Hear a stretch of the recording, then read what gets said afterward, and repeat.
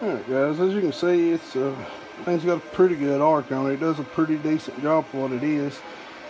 Uh, I have took it in the field a time or two and did some small little jobs on 110. It does pretty decent on it. You can you can get up to about a 332nd if you try to run a uh, eighth inch rod. You're not gonna have enough current. You can probably get by with the 6011, and don't try to run 6010 with it. You will pull your hair out.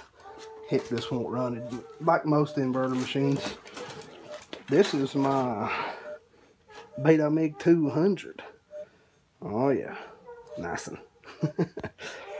I may make a video or two of this thing.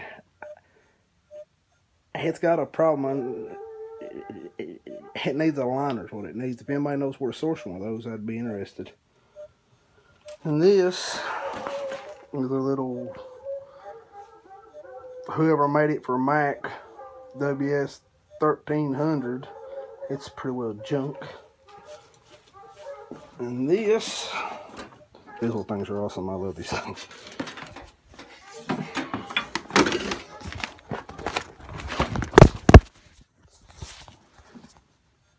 It's an AC only welder. It's a Sears Craftsman. It, it does a real good job, but it's just AC, which limits it to pretty well nothing. You can't do nothing. But uh, 718 AC rod, it does pretty good. You run 6013, 7014, you can do pretty good. Like I say, guys,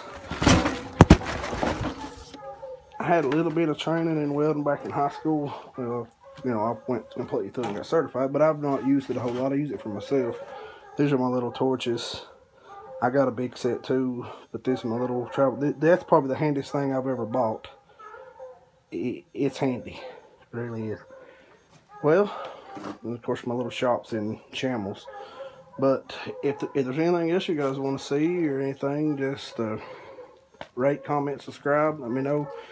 I'm all time doing projects. I'll try to make videos of it. This is the first I've made. I don't know if I've got the time or energy to do it and plus what all what else I got to do. But I've got a little sawmill sitting out there. My little trailer. There's a barbecue grill thing that I'm working on. Was working on. Uh, do a little dab of logging, peddling around, cleaning the farm up. We've got a bunch of land here. Cleaning up. Uh, cut a few mining timbers. You don't see many people doing that anymore. Along with other stuff. But garages, good lord. At any rate, uh, just uh, rate, comment, subscribe. Let me know if you see anything you want to see a video on, or uh, maybe we'll get into some welding videos.